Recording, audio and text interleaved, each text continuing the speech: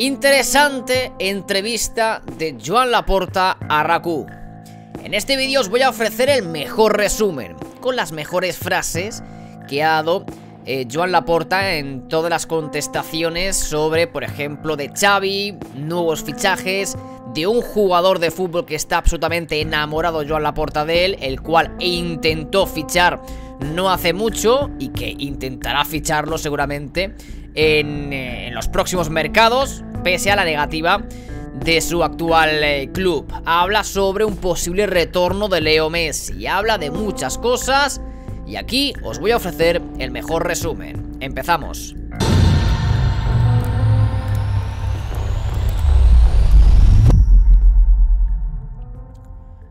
Hey, ¿qué pasa? ¿Cómo estáis? Welcome otra vez aquí en JKC Live. Bienvenidos a un nuevo vídeo. Ya sabéis que cuando eh, pues bueno, Laporta o Florentino, que hace pocas, pero Florentino o algún jugador, pues bueno, que nos llame la atención hace una entrevista, pues bien aquí estamos en vídeo para comentaros el mejor resumen con las mejores frases para que no tengáis que tragaros prácticamente hora y media que pueden durar este tipo de, entrevistas. John Laporta, en Raku, hablando de muchas cosas y os lo voy a comentar ahora aquí en este vídeo de que seguramente será rollo 10 minutos, ¿vale? Eh, dejó claro eh, Joan Laporta en, este, en ese inicio de entrevista que tiene eh, claro sus objetivos. Su objetivo es que quiere ganar la liga. Laporta quiere ganar esta liga. Será posible. Dice, lo digo convencido. Xavi lo hace de película y tiene más ganas que yo de ganarla. Ya, una cosa son ganas, otra cosa es que veas la realidad. Y creo que Xavi sí que es cierto que ha estado con un punto de, racionalidad y realismo en rueda de prensa. O sea que la porta, pues venga, a ganar la liga. Ok.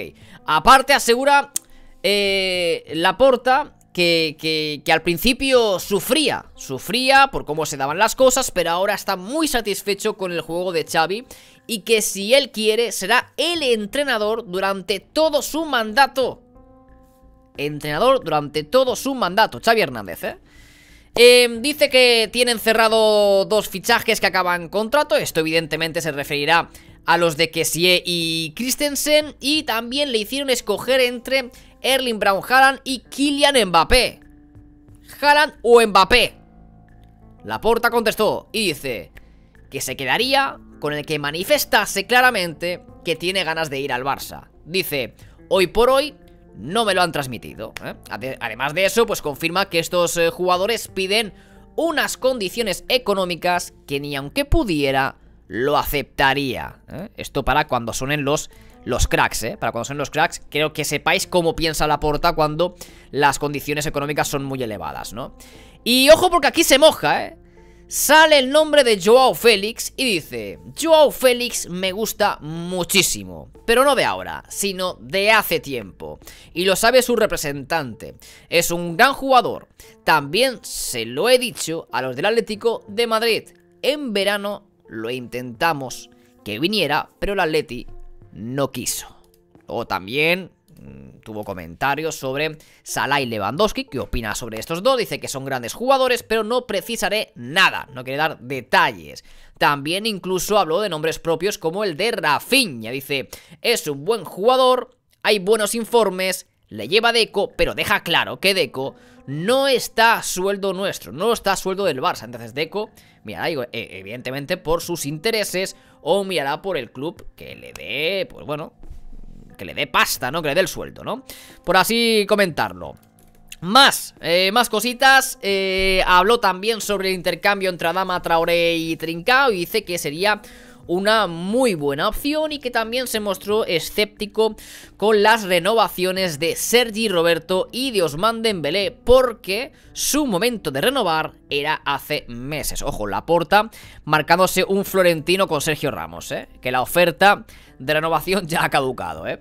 Em, luego también, pues sobre el patrocinio con Spotify, dice que es el mejor contrato de sponsor a la camiseta de la historia, ¿eh? El mejor contrato de sponsor a la camiseta de la historia del Barça, ¿vale? Y que tiene sobre la mesa al menos 6 propuestas de patrocinio para las mangas de la camiseta, ¿vale? Más sponsors para el Barça con 6 ofertas, ¿eh?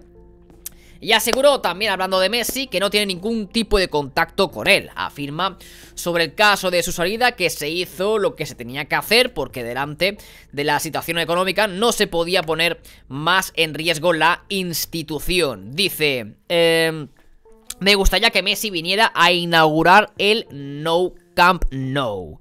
Bueno, la porta ya no es así.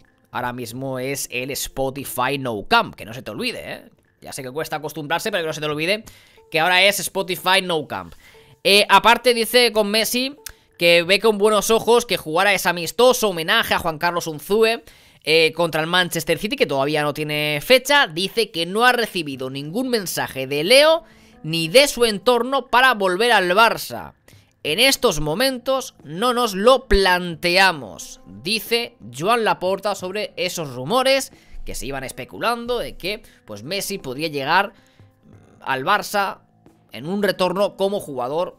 Yo creo que esto es imposible, no creo que vuelva al Barça en ninguna de las maneras. Sí que podría pues eh, asumir un cargo una vez deje, deje el fútbol, pero como jugador no lo veo mm, en ningún momento en ningún momento cercano. Ni, ni mucho menos para, para que vuelva como jugador, insisto. Yo creo que, pues bueno, tal vez después del Paris Saint Germain, pues ya sería tal vez el próximo equipo, eh, yo que sé, un, un Newells, aunque me habéis afirmado de que Newells lo estoy pronunciando mal, pero da igual, ya me entendéis perfectamente. O sería un equipo de estos para retirarse. Sí que es verdad que a la larga yo creo que volverá a vivir en Barcelona porque le gusta mucho la ciudad, pero mmm, no como jugador más, así que olvidároslo. ¿Habéis visto? Pues ya se ha acabado. Sí, sí, sí, sí. En 6 minutos, 7 minutos os he comentado prácticamente una hora y media de entrevista de Joan Laporta y os he citado pues prácticamente lo más eh, llamativo. ¿Qué opináis, no? Joao Félix, ¿eh? Ya lo sabíamos esto, pero no, no pensaba que era un amor tan abierto, ¿no? Tan público que ha hecho eh, Laporta. ¿Es el crack que está buscando, por cierto, para su Barça? ¿Es, el, es la, la guinda del pastel, vosotros creéis? Y ojo, no me culpéis a mí, no me culpéis a mí, si yo cuando suena en la, en la prensa Salah, Lewandowski, Haaland para el Barça y que yo os baje a la tierra y os diga esto lo veo imposible, no me culpéis a mí, simplemente escuchad a vuestro presidente ¿eh? esto es un mensaje para los culés, a vuestro presidente Joan Laporta. No quiere poner en ningún tipo de riesgo la economía del club con pues fichas eh, extremadamente altas y evidentemente estos jugadores no van a querer cobrar menos de, de 20 kilos. Así que, macho, vamos a ponernos un poquito de, de, racionalidad en esto y un poco de realismo y os hago saber que sí, que lo de Rafinha puede ser eh, alguno de los fichajes, ¿no? Que sí, Christensen, eh, todo este tipo de fichajes que acaban contrato que no piden más de 10, 15 millones, eh, bueno, 15 ya es incluso mucho, Pensar que el Barça tiene todavía el margen salarial excedido, que todavía tiene que pagar uno, eh,